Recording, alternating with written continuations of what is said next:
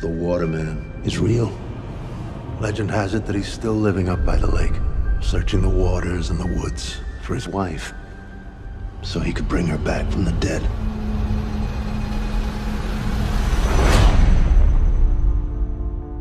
This town is weird. It's just different here than what we're used to. Yeah, real different. I know this move's been hard for you. It's been hard for your dad, too. He's just stressed about me. I always thought the Water Man was just something grown-ups told kids to keep them from sneaking off into the woods. No one knows where to find him.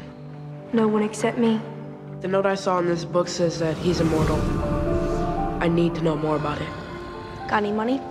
Yes, but I'm still gonna need money to buy supplies. Supplies for what? I'm going to find the Water Man.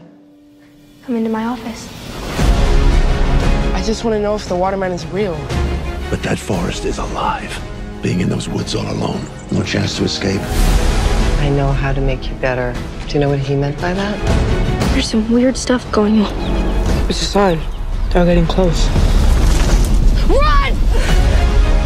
Hope is a powerful force.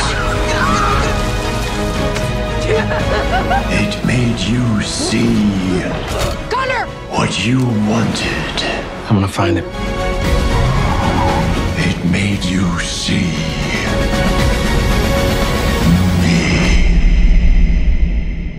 One, two, three, four. Close your windows, lock your door. Cause you never know for sure who it is he's coming.